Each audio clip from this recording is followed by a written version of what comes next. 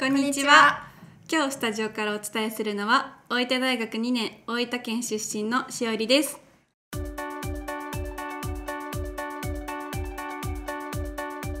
同じく大分大学2年長崎県出身のゆきです。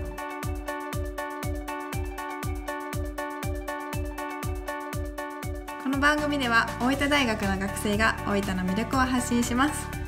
長崎県出身のゆきちゃんは大分のどこが好きですか？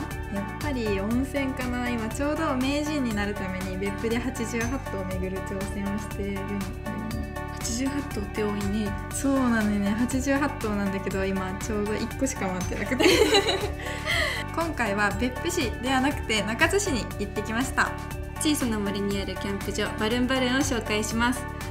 まずはオーナーの方にお話を伺ったので VTR どうぞ。大分ミッドタウンチャンネル。